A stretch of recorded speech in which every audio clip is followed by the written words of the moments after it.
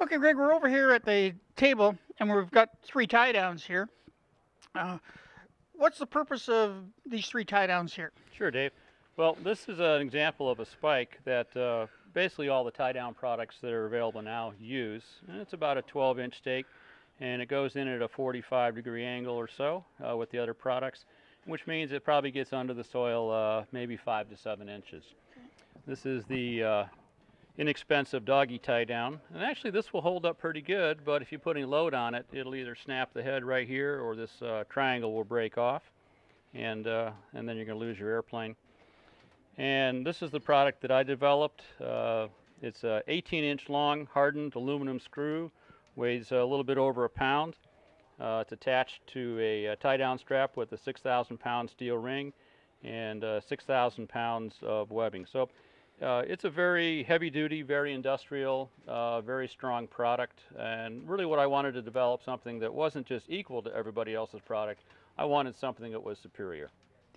Now, when I look at these products, though, I could, I use to put this one into the ground. I generally would use a tire iron or something like this. For this one, I would use a hammer. How do I put this whole girl into the ground? Great question. Uh, there's a couple different ways. Uh, on the end of this, this is cast and part of the screw. This is a one inch hex head. Uh, it's very strong. And you can use a uh, half inch drive with a one inch socket to screw it into the ground. You can use a uh, gear wrench ratchet. And if you're really feeling industrious, uh, you can use an impact driver. Okay, so it'd be just a little electric impact then? Electric impact driver would work as well. Okay. Now, what about soil conditions? For example, uh, if I'm into a real hard soil, in this case, do I have to start it with a hammer or will it screw in as, as well? Yes, um, and that's a great question. You know, all, all products have advantages and all have disadvantage. Uh, again, when you're using a tie down with a stake in a soft soil or wet soil, it's very apt to pull out. It doesn't have a lot of holding ability. In a softer and wet soil, the screw works phenomenally well.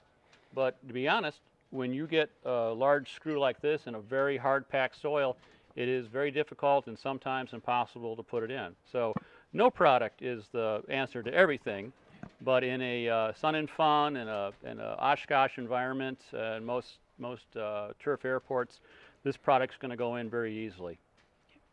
Now, in in a lot of cases, one of the reasons you're tying this airplane down is because you're expecting wind or a storm or something like that, which would be rain and so on and so forth. So once I have this product installed in the ground, how easily is it affected by, for example, rain? Great, great question. Um, the other products, and again, they all they all will hold you know some some weight uh, themselves. This product has a little over two square inches of surface area. So you're looking at pulling at an angle against a couple square inches of surface area in the ground. Uh, this has a little bit more obviously. This particular product has 80 square inches of surface area. So you're looking at 80 square inches of holding against the soil, whether it's a strong soil or a weak soil. It's just a factor of uh, multiplying the surface area and uh, against the soil type. And there are no two soil types are the same. Everything's different. And people often ask me, how much will it hold? And I said, well, that really depends on the soil. So in testing this, uh, I compared the other products I wanted to see how they held up against in mine in various different soil conditions. And uh, the large screw with this large surface area always outheld anything else that was currently on the market. Now, these units here are fairly compact, easily for me to store in the airplane. Compare that to what you're uh, supplying me with. Yeah, there's two questions everybody asks. How, how much does the whole system weigh and, and how much room does it take up? And as I developed the product, that was a, a key point as well. There was no sense uh, having a product that weighed too much because cer certainly weight is always a factor in aircraft. So as example, the Claw product, which is, uh, uses these uh, steel stakes, it comes in at right about 10 pounds. So that was sort of my benchmark. I wanted to be right there, uh, the same as the competitors. Also, there's one called Storm Force that comes in 10 pounds, maybe a little bit under. So when I designed this, I came up with a bag. It's a little bit longer than the Storm Force or the Claws because of the length. This is an 18 inch long screw. So this is a 22 inch bag and it comes in with three screws, the heavy duty straps, the uh, S hooks, and the tension adjuster. It's just about 10 pounds, right about 10 pounds. So weight is apples to apples. Uh, size, just about the same dimensions around, maybe a little bit smaller and uh, a few inches longer. Okay, so we looked at the uh, tie down unit itself, but there's a lot more to this than that. You've also got a, a strap, and it looks like it's a fairly heavy duty strap. Sure. Let me tell you about the uh, development of the strap that I have on there.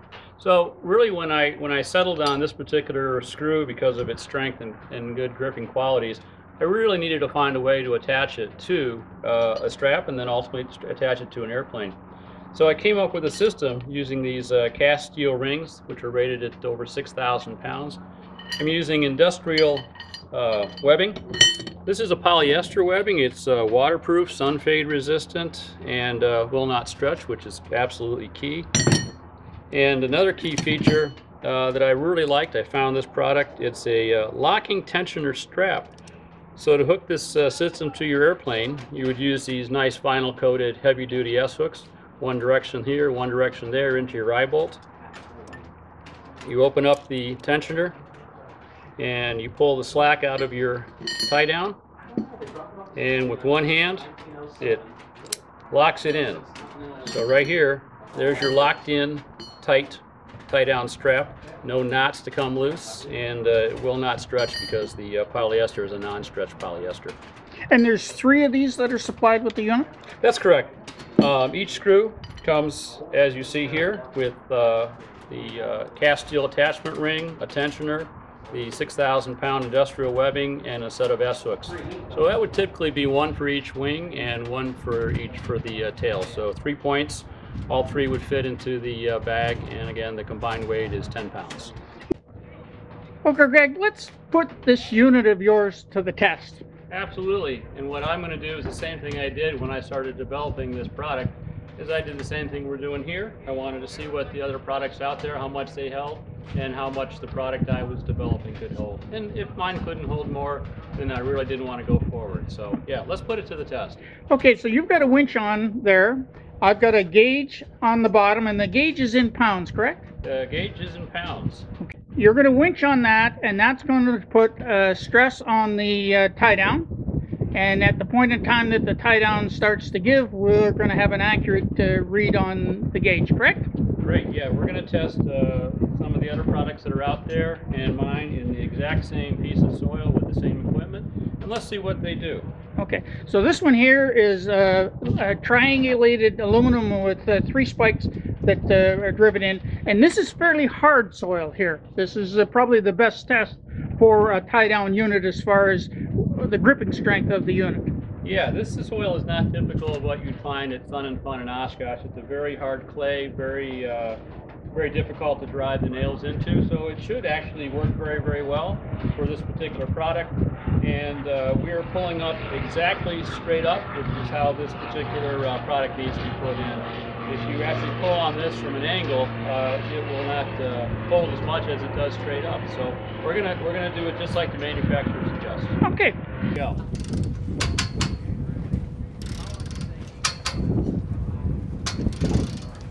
We're sitting right now at 91 pounds. Okay, we're coming now at 270 pounds. We're at 327. Just starting to come out of the ground. What are we at? 499. And we're 525 and it's out of the ground right now. Let's start with the channel. Let's uh, keep going. There it goes. So we're about 500 pounds in that unit right there. Okay, Greg, so we've switched over to our uh, second product here. Right. It's a uh, unit that uses four nails and a piece of angle iron. Right. Uh, we've got our gauge zero. We're on the same soil, uh, same equipment, no difference. Okay? Apples to apples, and what's important here is this particular product says it has to be used at a 45 degree angle to the angle of the nail. So we've done that. You can see we're pulling it at an angle as uh, is required by the manufacturer. So, Dave, let's see what this one can do. Okay.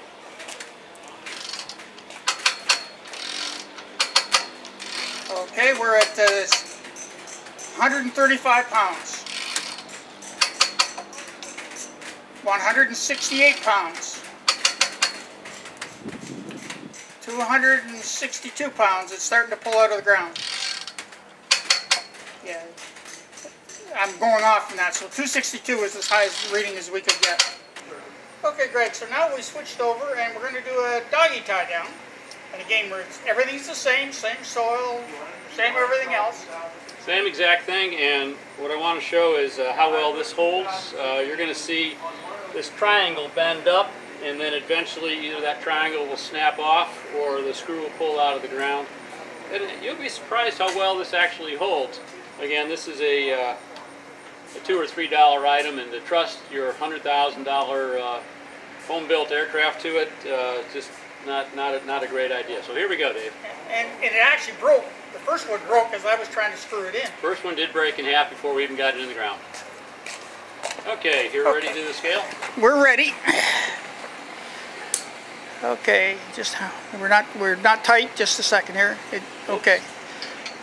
Okay, we're at uh, 100 and 133 pounds, and you can see that it's already starting to fail or Yep. bend. Well, it'll it'll bend out and then Okay. it'll hold. It'll It's already- eventually. It's already uh, coming. Out of, oh, it's still. I'm back down to 135 pounds. It's still. Okay. Okay, I'm at 217. Okay. So that's about where some of those other products failed. Yep. Okay, hold it. I'm at 320, 320, 320. Right. So that's above where some of the other ones failed. And you can see it's starting to, Okay. starting to rotate now. Yeah.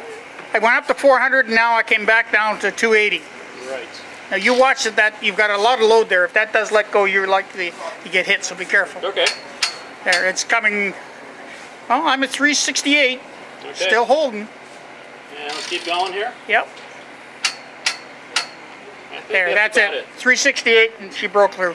That's right. But as you say, a $3 item did more than some of those other items did. And yet nowhere near what, uh, Right. what I mean, yours if you had a product like this and it was bending, you wouldn't trust your aircraft to Yeah. it either. And the other thing is that when it was bending, it was slacking the cable off that was holding it as well. So now you've got the whiplash. Uh, Right, whiplash. your rope or whatever Yeah. you use to attach this to your airplane is no Yeah. longer tight, so now you got that wing bouncing up and down. Yeah. You're going to yank that out of the ground and you're going to lose your airplane. Okay. Okay, Greg. So now we're going to pull yours. I'm sorry, hang on one second. Make sure we're all zero. All right, here we go. Just a minute. So we're going to pull yours. Yep. Same soil, same everything. No difference in that. Now we're pulling straight off. Does it make a difference with yours whether it's at an angle or whether it is straight? It really doesn't. Uh, obviously, on a straight pull, like on any screw device, you're going to get the strongest grip when you pull straight up on it because you have the most uh, compression of the soil and the most surface area touching that screw. But it works actually uh, pretty darn good at an angle as well. For example, if you tied this behind your tail wheel on a tail dragger, you're not going to be able to put it right underneath that leaf spring. You're going to put it back a couple feet. Uh, it's not a problem. Okay. So you're going to start to ratchet, and Yep. I'll read off uh, some uh, numbers. Sounds great. Let's see what the uh, big screw easy tie down can do.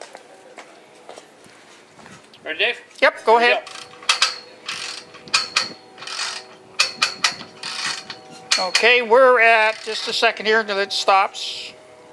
We're at 450 pounds uh, roughly right now. Okay. Okay, just let me stop a minute here. We're at 630 pounds. Okay, just a second. We're 740.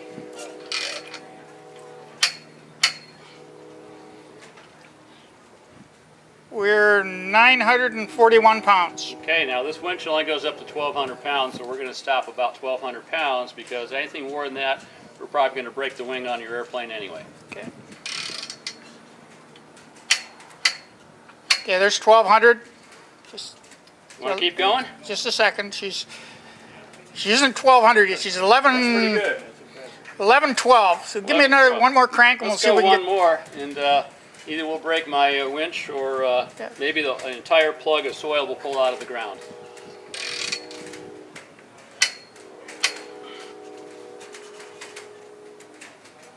What we got, Dave? She dropped down to 988. Right. So what happened? I actually felt it slip. Uh, actually, the Okay. soil is starting to break apart now around the screw. So let's call it maxed out at 1,200 pounds. Yep. As close as that as you can get. Okay, so we just did a test on your unit, and I find it hard to believe that something that is three dollars and whatever cents uh, pulls better than some items that are. Ninety dollars. And yeah, Yeah. it's, it's unbelievable. Yep. But I, you know, you, you saw that that dog screw bend up, and as soon as that bends, you've lost your security on your airplane. So. And we as I see- say, it also broke. uh, The first one broke as I was trying to. Yeah, We couldn't in. even get it in the ground. It didn't. Uh, Yeah. You know, so you- you, end up you- you're at a place, a storm's coming. You're trying to screw it into the ground, and now you've only got two tie downs. Yeah. Well, I, I don't want to say it, but it sounds like you'd be. Yeah.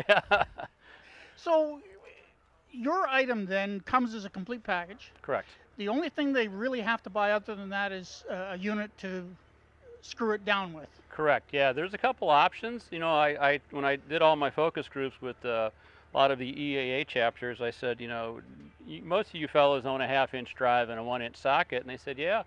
So I really wanted to put my product together and give the purchaser an option, either to use uh, uh, their own their own half-inch uh, ratchet and socket uh, with a one-inch drive, or if they don't. Um, I have available uh, one inch uh, ratchet wrench. Uh, Gear Wrench makes these. You can buy these at Menards and Lowe's and Home Depot. They're somewhere around $20 and I will sell you one uh, for just about that as well. And they fit right into the bag Fit right well. in. They're going to add about one pound to the package, so you're actually about 11 pounds all in uh, with, with the tool. So if someone wanted to get one of these, what kind of delivery time are they looking at? Do you have them in stock? Sure. Right now in inventory, I've got about 100 pieces, and again, it's a new product. They're not uh, not at risk of running out of inventory right now, but uh, I could certainly ship, and uh, you would have it within a week of ordering. Now, while we were here and we were doing this video, a gentleman walked up and said, "What kind of warranty uh, do you apply to your product?" What you you Sure. replied to him was, Absolutely. Um, again, I'm very confident in the quality of the products and the parts in this kit, uh, and I would be happy to warranty anything for a year. Um, obviously, if you abuse it, that wouldn't be the same. But uh, if you look at these and people pick it up and they go, "My gosh, that thing is, is just massive. It's a it's a strong piece of uh, alloy aluminum." Uh, I'm not concerned about it breaking, but if it does, I'm going to ship you another one. Okay. "So if somebody wanted to get in touch with you, get an order in for one of these, what's the easiest way to do that?" Best place to uh, get a hold of one of these and see a product video on this, uh, besides your site, would be at bigscrewtiedown.com, or you can also go to EZ, that's the letter E and Z, tiedown.com. Either one will get you there. Uh, it uh, has every bit of information about the product that we've talked about today, and uh, it has a button you can click and buy it as well. Thank you very much for your time. Thank you. Wrong hand. Wrong hand.